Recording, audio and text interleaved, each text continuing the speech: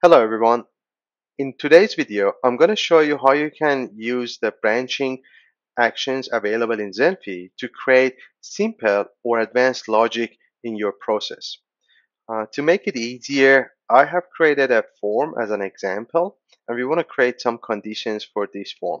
The form is a discount request, has got a client name, client uh, email, client name, country, got a few options here and also a discount rate where I can put uh, a number here, for example, 20%. Now, let's just get started with a, um, one of the most common actions used um, to create a branching, to create branching, which is if condition. If condition enables you to uh, define one or many actions and get a yes or no, true or false uh, result out of it. You can define uh, conditions here by clicking this item. For example, we want to say if the discount rate is greater than 20. So I can select when and I can select the, this value.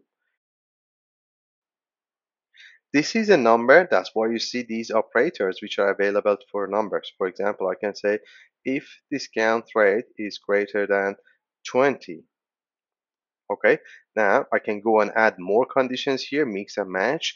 And also the client is um, I can select for example client country. Now because this is not a number this is a string you, you will notice the operators are different. The country equals to uh, Australia So this condition builder is quite powerful. Actually, you can add more conditions. You can um, add an or condition if required. For example, here we can come and say if the condition, if the country equals to Australia or the country equals to Canada. Um, so our condition uh, would be when the discount rate is greater than 20 and the, uh, the country is Australia or Canada. Then once we define it, it's going to go to the true branch. Then we can decide what we want to do in the true branch. Otherwise, it's going to go to the false branch. So it basically gives you an option of yes or no, true or false. And based on the conditions you define here, uh, it can go either way. Okay, the next one is uh, switch by value. The switch by value enables you um, to select a, a dynamic input and create different branches. For example, here I can say, go and switch based on the country. Then I can create branches. If the country is USA, this is a branch for USA. If the country is Australia, this is a branch for Australia. This is a uh, branch for Canada. And we have one more, UK. UK and then we've got a default branch as well.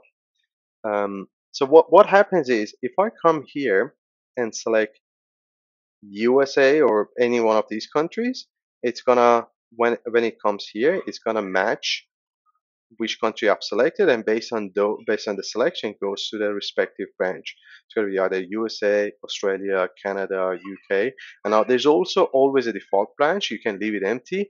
That means if there is uh, if it's not in any one of these things, then what is it that you want to do? So that's that's switch by value. The last one I want to show you is switch.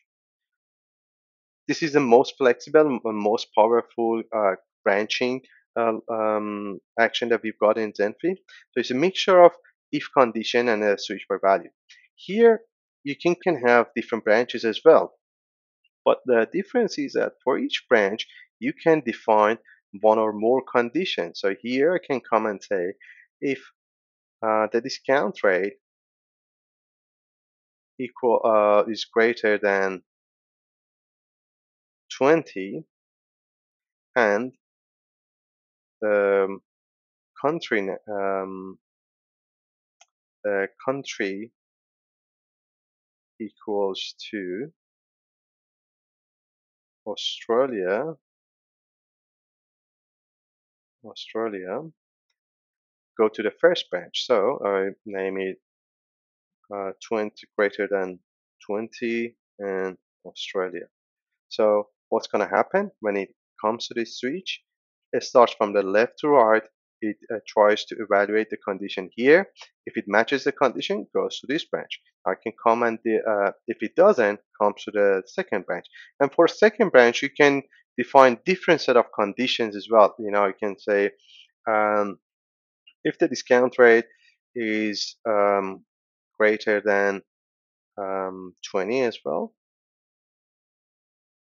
greater than 20, and the con um, and the country